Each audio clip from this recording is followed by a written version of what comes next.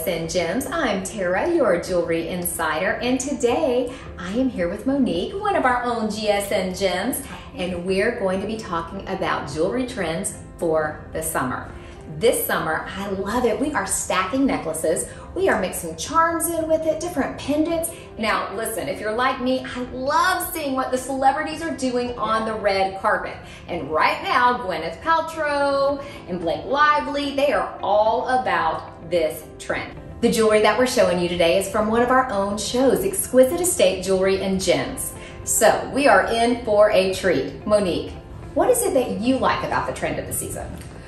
I just love how it just shows a lot of flexibility. Like I love the fact that, you know, you can just wear one single chain like the one I'm wearing right now, you know, to work, to be a little conservative. And then if you want to get off work and be a little stylish, you can just add layers and keep adding just to have that statement, that statement style. Do you have a specific like way that you start your layering process when it comes to your jewelry? I start with what I want to wear first, right? And I would like to layer it so each one has their own individual space and it can show. So I might start off with something, a necklace that's shorter, and then layer it with something else lower. I kind of love how they double down on these. Like you have, you know, another short chain like this one and then they did another layer with um, these emeralds here. What's important about what Monique likes in this trend is that she can take this from work to evening.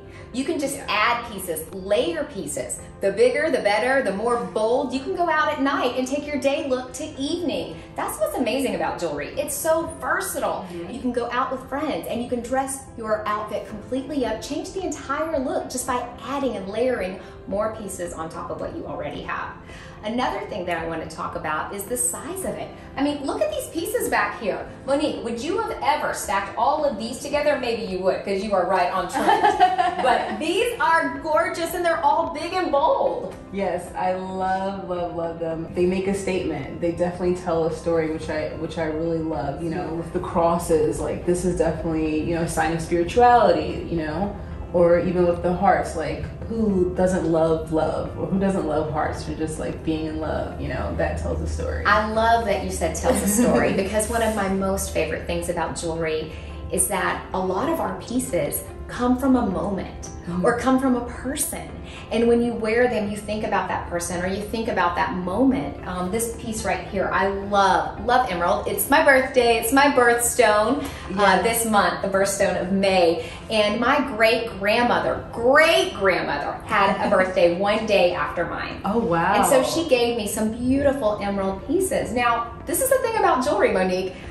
Yeah I could have received it 10 days ago, 10 years ago. My grandmother could have received it 50 years ago, but it's going to last. Right. And it's going to look exactly the same if you take care of it. I mean, do you have pieces like that that are sentimental to you? Definitely. Like, speaking of grandmothers, like, I have a, a necklace that my grandmother gave me, and it has a few pendants on it as well. And I I wear it all the time. I wear it with other jewelry that have other pendants and you know from my mother and, and my father and I wear them all together and it's just like they're with me all the time. So I totally agree with that. I love that story.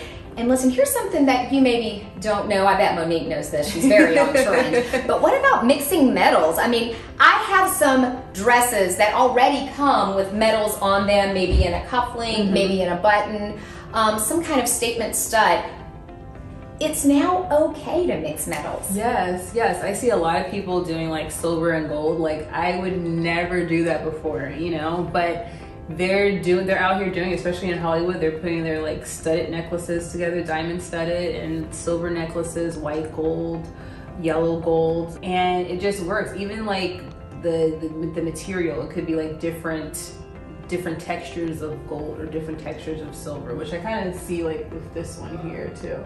I love all this. Who would have ever thought to put two crosses together? Yeah. I mean, most people would say, oh, that's too much. Listen, gems, never too much, yes. not with jewelry. Yes. Look at this tri-colored tourmaline. It is huge, and I have to tell you, I love it with the opal. Yeah. I love all these statements. We're not only mixing metals, we're mixing stones here. Right. And I think that's an amazing trend for summer. So if you love all these pieces, we want to keep the conversation going. We want to hear from you, but we also want you to tune into our live show at the Gem Shopping Network. We are on 24 hours a day, seven days a week. I've had so much fun talking with Monique. Guys, can you tell this girl is stylish? She is always on point. She's always fun to talk with. I want to hear from you. But again, remember, tune into our show 24 hours a day, seven days a week, and stay tuned for more insider tips.